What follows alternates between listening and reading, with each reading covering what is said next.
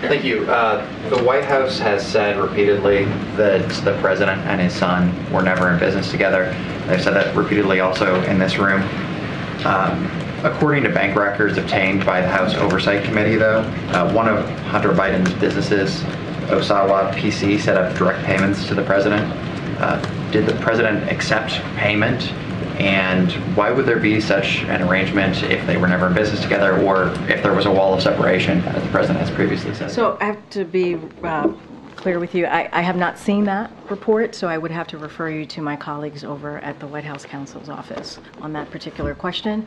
All right, everyone, see some of you in Boston or on Wednesday. Thanks, everybody. Thank you. Thank you.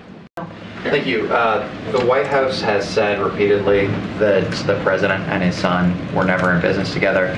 They've said that repeatedly also in this room. Um, According to bank records obtained by the House Oversight Committee, though, uh, one of Hunter Biden's businesses, Owasco PC, set up direct payments to the president. Uh, Did the president accept payment? And why would there be such an arrangement if they were never in business together or if there was a wall of separation, as the president has previously said? So I have to be uh, clear with you, I I have not seen that report, so I would have to refer you to my colleagues over at the White House counsel's office on that particular question.